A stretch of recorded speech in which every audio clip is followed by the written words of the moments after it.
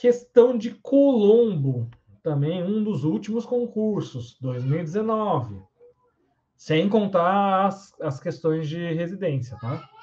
A anamnese deve ser fundamentada no diálogo entre paciente e cirurgião dentista. A respeito do assunto, considere as seguintes afirmativas. E aí, vamos por, por eliminação, né? Qual dessas são corretas? A1. A queixa principal deve ser identificada por meio dos sintomas observados pelo cirurgião dentista? Até sim, né? É identificado por meio dos sintomas, mas não, geralmente, co como que a gente é, faz isso? Através da anamnese né? Então não é observados pelo cirurgião dentista, aí também já está uma afirmação que seria, né, respeito dos sinais. Pois nem sempre o paciente sabe relatar a sua queixa. Não, a queixa principal é o, a razão pelo qual o paciente está indo.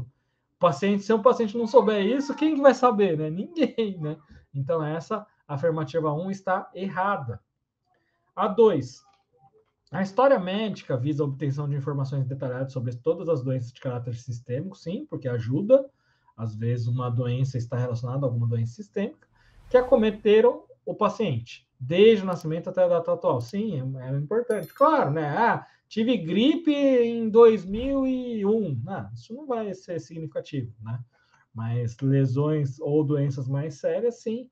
Né? Visa, sim, informações detalhadas sobre todas as doenças de caráter sistêmico, sim. Tá? Então, essa está certa. A 3. Na identificação do paciente, é importante conhecer a sua profissão? Sim. Pois certas atividades podem predispor o indivíduo a determinadas doenças? Perfeito. Por exemplo, na nossa área, é muito simples de dar um exemplo. É, paciente que é ambulante, vive exposto ao sol, ele pode ter predisposição a ter câncer de lábio, se tiver pele branca, por exemplo. Então, é conhecendo a sua profissão. Paciente que é agricultor, por exemplo, também. Paciente que é marinheiro, mesma coisa. Então, é importante sim conhecer a profissão.